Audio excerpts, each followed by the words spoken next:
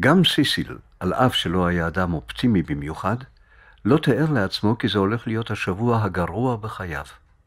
הוא קם באיחור, התלבש, ומיהר על אופניו לבית החולים לניאדו.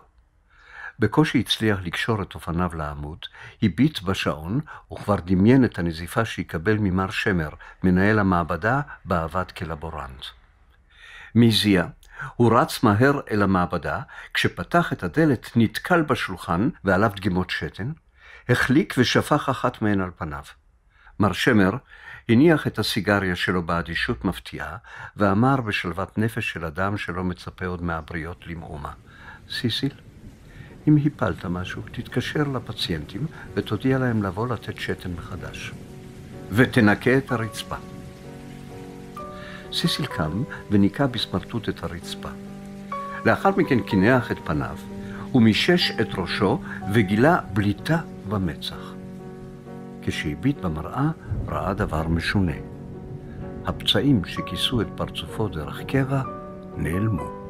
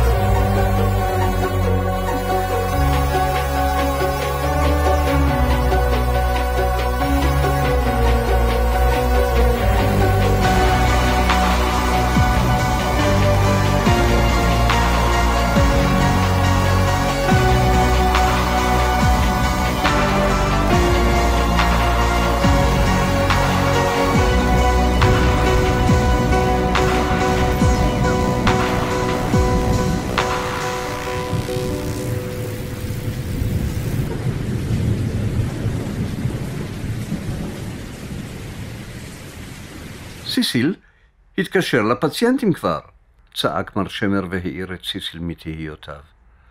עלה נסוג מהמראה, ניגש לטלפון וחייג לפציינטית שאת דגימתה שפך.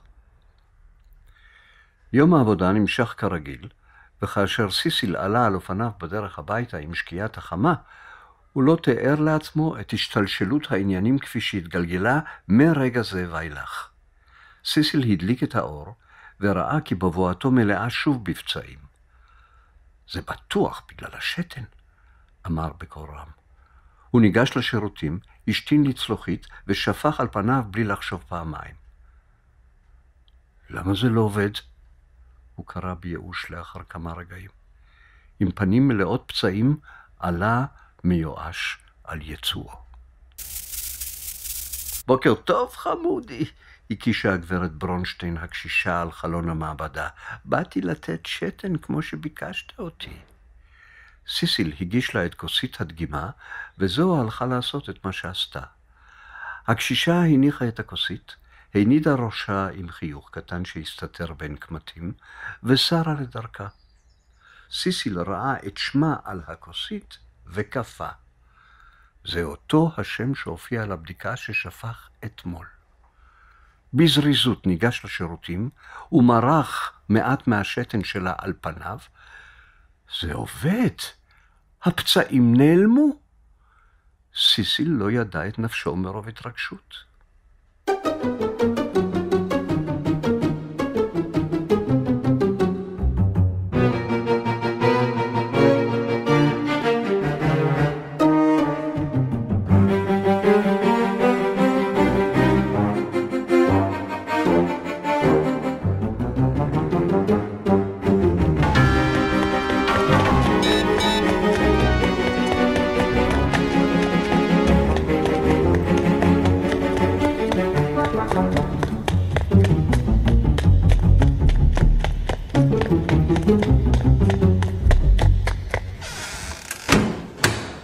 למעשה, הרמז אודות גורלו של סיסיל כבוגר היה נעוץ כבר 25 שנה קודם לכן. סיסיל רץ במהירות אל השירותים. הוא נכנס לתא, נעל את עצמו והתנשף בבהלה. הוא ידע שאם שני הילדים מכיתה ו'5 יתפסו אותו, זה הסוף שלו. הוא היה קטן מהם, צנום ולא חזק במיוחד. בוא, הוא בטוח בתוך השירותים, צרח איציק הגרזן אל חברו מושיק שם זהב. השניים פרצו את הדלת וחיפשו את סיסיל בכל רחבי השירותים של בית הספר שורשים. סיסיל ניסה להתאפק, אבל פתאום ברח לו שיעול. הוא פה! צרח איציק הגרזן, והשניים פרצו את הדלת. סיסיל המבוהל ניסה לברוח, אך עד מהרה פניו התבוססו בשתן של מושיק שן זהב. סיסיל נכנס עם הוריו למנהל המחלקה לבעיות עור מיוחדות בבית החולים לניאדו. הפרופסור בחן את פניו מכוסות הפצעים של הילד ואמר להורים תוך התעלמות מקיומו של סיסיל, אין למדע פתרון. מדובר במחלה כרונית שנגרמה כנראה מחשיפה לזיהומים. זה כנראה יישאר כך לתמיד. סיסיל והוריו התלטפו, ייבבו והתחבקו, בעוד הפרופסור מבקש אותם לצאת כדי לאפשר לפציינט הבא להיכנס. חייו של סיסיל נידונו לחיים של מצורע.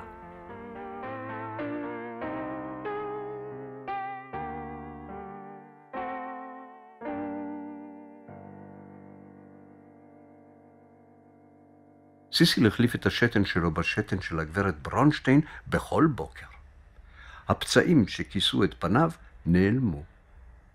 הרופא של הגברת ברונשטיין, שנתקל בתופעה לראשונה בקריירה הארוכה שלו, קבע נחרצות, הגברת הקשישה סותרת את הסטטיסטיקה ומבריאה.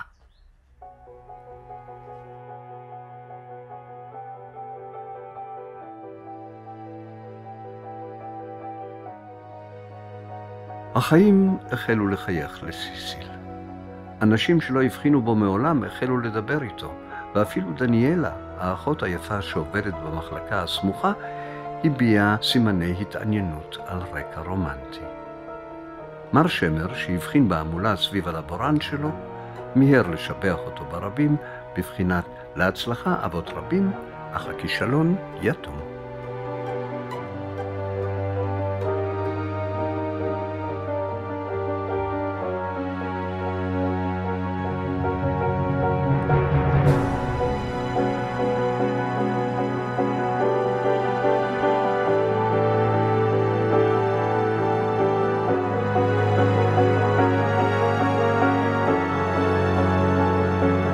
היכנסי, הגברת ברונשטיין, רציתי לשוחח איתך, אמר הרופא לפציינטית המבוגרת שלו. לפי כל הסימנים את מבריאה מהמחלה, ולכן את יכולה להפסיק ליטול את התרופות. הוא קחקח בגרונו והמשיך, אולם אני רוצה שתמשיכי להביא בדיקות שתן לעוד שבוע לפחות, כדי להיות בטוחים.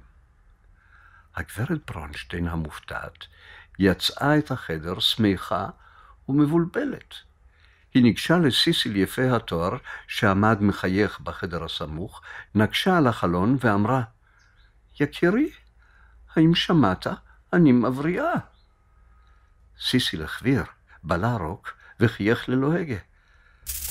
למחרת סיסיל החליט כי הגיע הזמן לנסות לשאול את דניאלה, האחות היפה, אם תסכים לפגוש אותו בקפיטריה למשקה קל.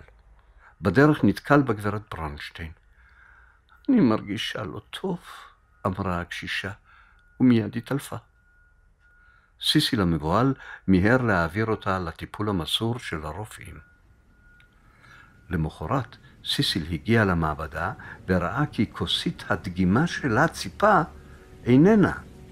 הוא שאל את מר שמר מדוע חסרה כאן בדיקה, וזה הסביר לו כי הגברת ברונשטיין לא הגיעה היום וגם לא התקשרה.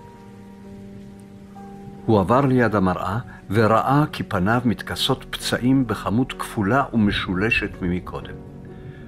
סיסי לא ידע את נפשו מרוב צער. הוא ישב על הכיסא, מכונס ומפוחד. לאחר כמה רגעים יצא אליו מר שמר, הגברת ברונשטיין נפטרה, אמר לו. סיסיל היווה את פניו בבעתה. מר שמר הבחין במראהו החדש-ישן, היווה את פניו, וחזר אל המשרד באדישות.